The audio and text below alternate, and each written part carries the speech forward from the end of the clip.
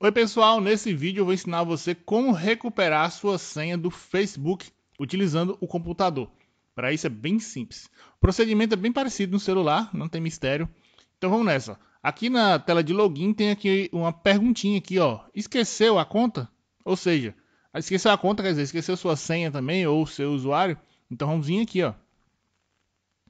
Aqui ele vai me pedir aqui o e-mail ou o telefone que eu usei para criar a minha conta, basta você preencher.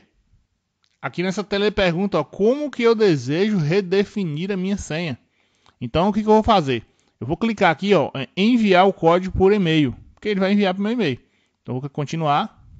Esse código vai ser enviado por e-mail, basta digitar ele aqui e depois clicar em continuar.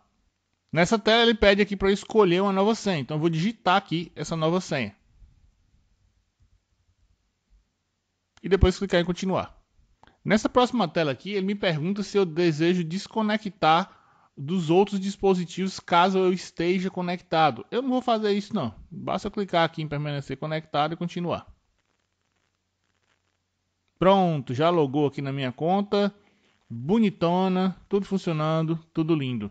Muito obrigado por ter assistido esse vídeo. Se você gostou, não esqueça de compartilhar e não esqueça de se inscrever aqui também no nosso canal.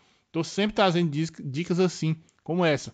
Tem um botão embaixo, inscrever-se, um botãozinho vermelho. Só clicar aí e você vai começar a acompanhar os vídeos do canal a partir de agora. Se você não for inscrito, muito obrigado e até o próximo vídeo aqui do canal.